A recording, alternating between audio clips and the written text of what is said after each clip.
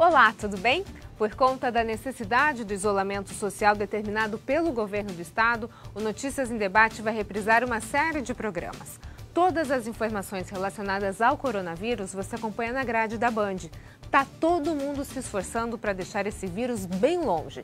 Então faça a sua parte, fique em casa. E aos nossos idosos, aproveite para tomar a vacina contra a gripe. Agora, o momento exige tranquilidade e responsabilidade de todos nós.